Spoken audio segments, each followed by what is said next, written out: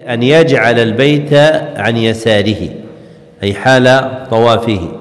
فلا يصح أن يطوف جاعلا البيت عن يمينه. فلا يصح أن يطوف جاعلا البيت عن يمينه. فإنه يكون منكسا الطواف.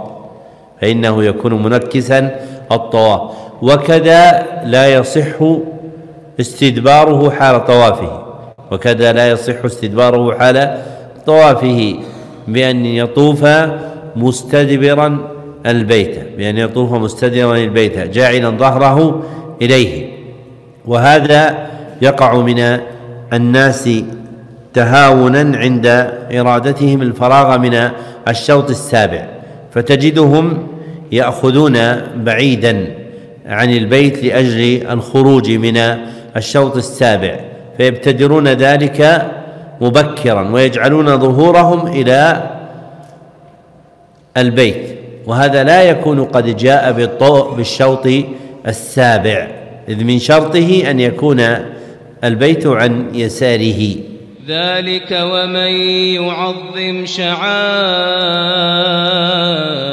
الله فإنها من تقوى القلوب.